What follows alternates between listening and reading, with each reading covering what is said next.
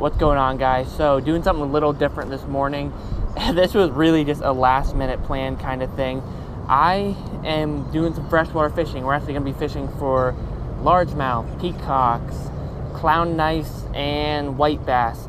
Now, I don't know if we'll catch all of that, but that is what's in the body of water that we're fishing today. And this was really just such a last minute plan. I don't even have any of my bait casters with me, but not to worry, I do have my tarpon rod and my giant bait caster, my big Calcutta with me for catching maybe at biggest five pound fish. But we're gonna make do, throw some spinning rods today. I would like to hopefully catch maybe some peacock bass, but I'll be happy catching largemouth and all that good stuff. I have fished for peacock bass for only one time, and I've caught one peacock bass, and it was like three and a half pounds on an artificial on a top water. So that's pretty cool. But we're gonna see if we can maybe add a few more to my resume. But it should be a good morning. My mom's out with me. She is holding the camera right now in the moment, but we're gonna see if we can get her on some fish as well. You know, my parents are both really big outdoorsmen, outdoors women, and so they love getting out with me when they have a chance. And so we are out here this morning, and we're gonna see if we can make it happen. All right, got a seawall up in front of me. It wouldn't feel right if I passed the seawall and I didn't fish it. I'm gonna skip this airhead up against the wall and see if there's any uh, largemouth or peacock hanging up against this seawall here, or lake wall.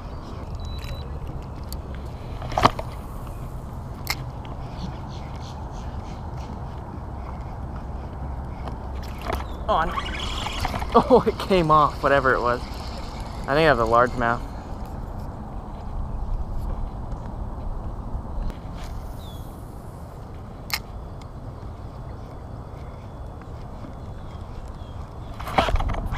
There's the fish.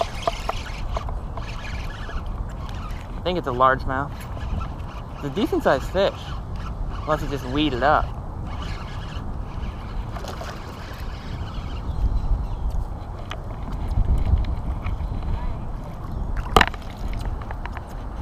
All right, first fish in the morning, beautiful little largemouth, probably just a pound, pound and a half right there.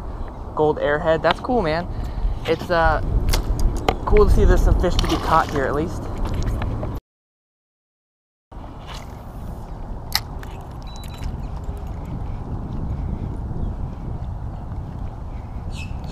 Man, I'm getting followed.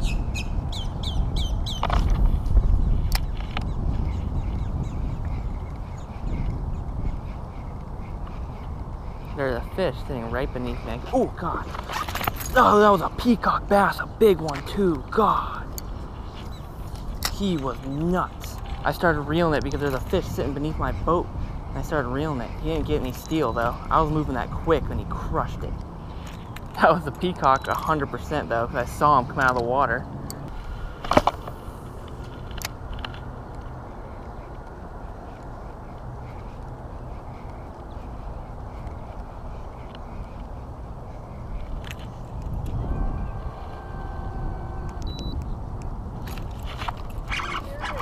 I was letting that sit completely still and something came up and ate it. I don't think it's very big, but I also have like 40 pounds of weed with it. Oh, it's a peacock. No, it's a Midas cichlid, actually. That's cool. Or a Mayan cichlid, I can say. Not a Midas. Midas are gold. Well, there's our uh, first exotic fish in the morning right there. I think this is a Mayan cichlid. I could be wrong. You guys can tell me what you think it is. Um, very beautiful. It's weird. I was letting his airhead sit on the bottom, and he came up and ate it right at the bottom. Surprised this thing even has a big enough mouth to eat that. Thought it was just going to be a little largemouth, but that's very cool. First exotic down right there.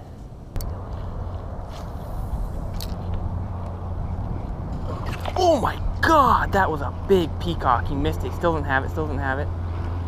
Oh, dude, that was a big fish. And he hit it twice, but neither time he actually even grabbed it.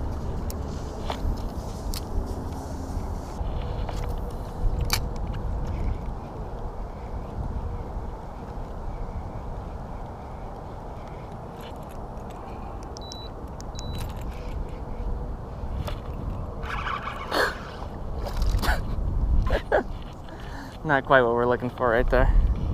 Second largemouth in the morning, little probably half pounder right there he ate that on the drop. But we're still looking for that peacock. I definitely, definitely believe that that huge blow up I just had a minute ago was from a peacock, but didn't connect, unfortunately. Seen a lot of clown knifefish as well, but they're definitely a, a little tricky to get to eat. All right, we've made our way into a little residential canal. There's a lot of shade, a lot of cover. This should be good. Ooh, I feel like I got hit right when that landed in there.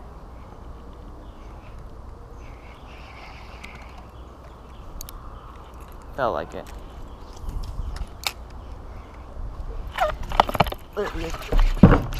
That's the man. That's him. I think that's him. Yeah, that's him right there. Yes. I thought I got hit the first cast in there. Here we go. All right, first peacock bass of the day right there. A very beautiful female, light green, almost lime with orange bright fins. Awesome, awesome. I thought I got hit first, and I thought I got hit, and I threw right back under there, and she crushed it. That is a very beautiful fish.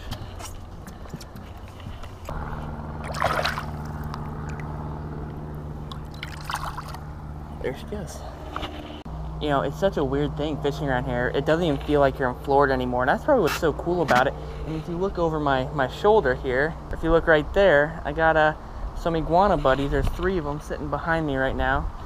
And it's just such a weird thing. We're catching fish from the Amazon, and there's wild iguanas running around. It's just a very cool place, and that's like one of just the awesome things about Florida is that, you know, this morning we were actually going to go fish for tarpon and snook, and I looked at the weather forecast and it was blowing like 16 miles per hour at 6 a.m. and I was like, dude, I do not feel like getting blown around out in the river and big bay areas and just getting beat to death by waves. I was like, all right, we're gonna call an audible and we're just gonna go fish for peacock bass and largemouth. And that's why I don't even have like bait casts or anything, and I have tarpon rods with me. But it's actually very awesome and just it's a crazy thing. These just exotic species everywhere. I know it's actually not really a good thing for the most part, but it is very cool. Oh god, that scared the hell out of me.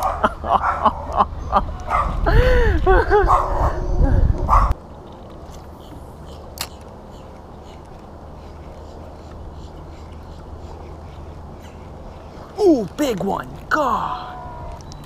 Big peacock bass swung at it. Good lord.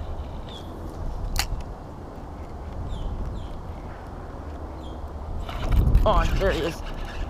Oh, that's a largemouth that time. Oh, there he goes right there.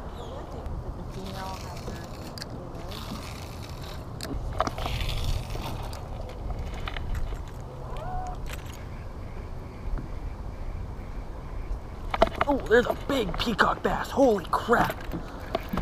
Oh my gosh. It's on the mount. Oh gosh, there's a big fish. Can we hand me the net? Thank you. It's a big fish, guys. It's digging its head. I think it's a, it's got to be a peacock bass. Didn't like that. Oh no, this is not what I need to be doing here. There you go. Good job, Mom. That is the one we've been looking for this whole time. That is the one we've been looking for. That is probably about a three pounder. I don't know. That is a male. You see the big giant knob on top of his head right there. I just can't get over how beautiful the colors are on these fish. And that was the third cast with that new lure I put on. I'll show it to you in a second. But that is just a beautiful fish. And that is what we've been looking for all day. One around that size. That's just awesome or what?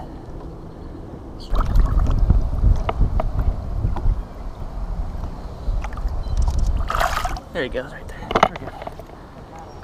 So I'll show you what I was throwing right here. A uh, shiner right here, just a little glide bait shiner. It's a Savage Gear shiner, and I've only had it on for probably four or five casts before I hooked up with that fish. And I was just slow rolling it, and he hammered it.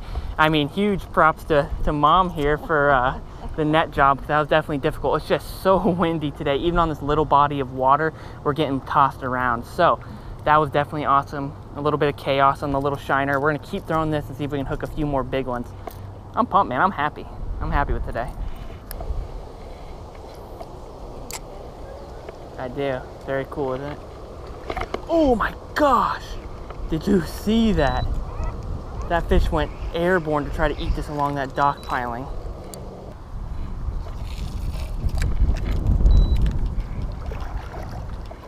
Ooh, big ends. Big ends. Big monsters, dude.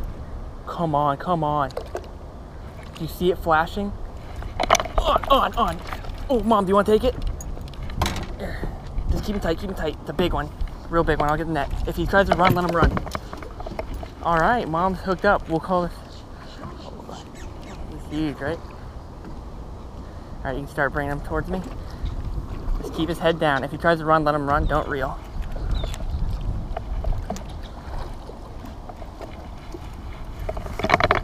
Uh-oh. Oh, there we go, Mom. That one's bigger than what I caught. All right, there's my mom's peacock bass right there. Gosh, I think the toad. Why did I? That was awesome. And she fought it well. Made sure its head stayed down, didn't let it get unhooked right there. All right, we're gonna snap some photos of my mom's fish and we're gonna let it go. He was ready to go. All right, guys, I think we're gonna call it on that note. Well, after catching that last peacock bass, we decided it's time to call it and head in. You know, it was a very great day for being kind of a last minute plan.